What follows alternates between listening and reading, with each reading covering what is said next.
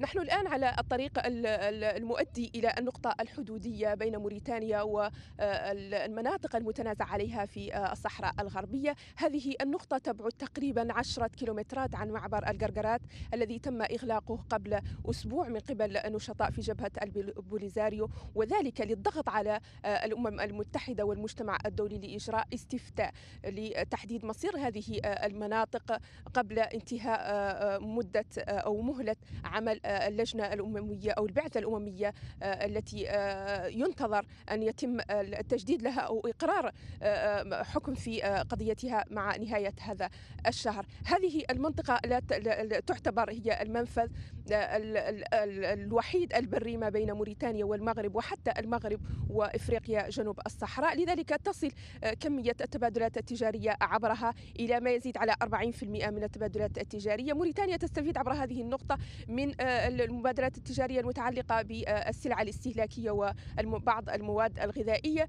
لذلك نجد بأن بعض الأسواق الموريتانية تعطلت أو تجد ارتفاع في أسعار هذه المواد نظرا لتوقف هذا المعبر.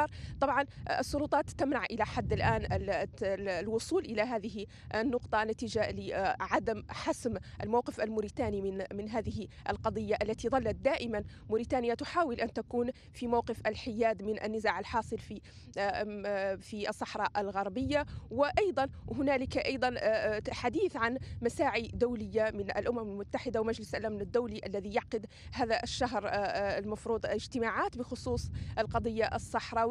لتحديد ما إذا كانت البعثة ستستمر بعد نهاية هذا الشهر تنتهي مهلة هذه البعثة في 31 من أكتوبر الجاري. إذا كانت ستنتهي وستواصل ولذلك يضغط هؤلاء النشطاء على أن يكون التمديد لهذه البعثة هو بداية لإجراء استفتاء لتحديد مصير هذه الأراضي في الصحراء الغربية. كما تشاهدون ما يزيد هذه بداية طابور الشاحنات المتعطلة منذ أسبوع والقادمة من موريتانيا ومن دول إفريقية أخرى.